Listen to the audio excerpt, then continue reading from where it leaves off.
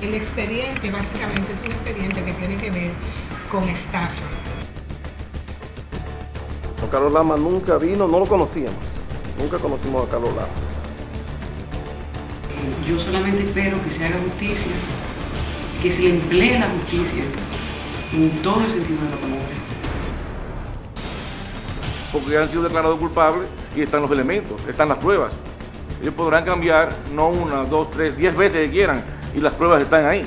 El que ha violado la ley ha violado la ley. Nosotros somos, tenemos la misma vara para medir a todo el mundo.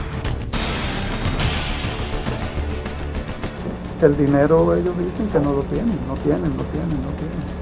Aparentemente este caso tiene todas las características de una centrífuga o de un esquema Ponzi.